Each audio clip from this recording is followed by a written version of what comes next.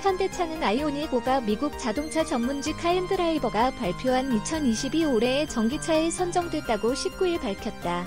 카앤드라이버는 아이오닉 5를 포함해 아우디 e-트론 GT, BMW i4인 9, 쉐보레 볼트 EV, 포드 머스탱 마하-E GT, 메르세데스 벤츠 EQS 등 20개 전기차 모델을 대상으로 3주간의 엄격한 평가를 실시했다.